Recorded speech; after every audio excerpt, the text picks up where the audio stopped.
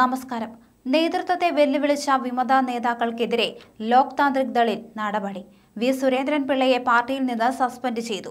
സംസ്ഥാന general secretary Sheikh P ഹാരിസിനെ തൽസ്ഥാനത്ത് നിന്ന് മാറ്റി. സെക്രട്ടറിമാരായ രാജേഷ് പ്രേം അംഗത്തിൽ ജയകുമാർ എന്നിവരെയും മാറ്റി. ഓൺലൈനായി ചേർന്ന എൽ ജെ ഡി നേതൃയോഗത്തിലാണ് സംസ്ഥാന president M V Shreyams Kumar നടപടിയെടുത്തത്. നേതൃത്വത്തെ വെല്ലുവിളിച്ച് സമാന്തര യോഗം ചേർന്നതിൽ വിശദീകരണം നൽകാത്തതിനെ തുടർന്നാണ് നടപടി.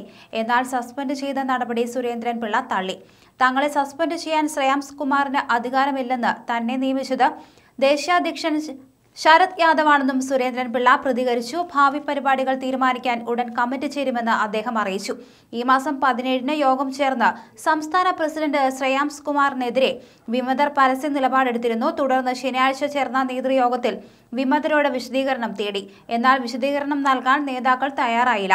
ഇതാണ് വിമതർക്കെതിരായ നടപടിയിലേക്ക് നയിച്ചത്. കഴിഞ്ഞ ദിവസം നടന്ന അനുനയ നീക്കങ്ങൾ പാളിയിരുന്നു. പുതിയ സാഹചര്യത്തിൽ പാർട്ടി പിളർന്നേക്കുമെന്നും റിപ്പോർട്ടുകളുണ്ട്. തങ്ങൾക്കെതിരെ നിലപാട് സ്വീകരിച്ചത് അച്ചടക്ക ലംഘനമാണെന്നാണ് നേതൃത്വത്തിന്റെ നിലപാട്.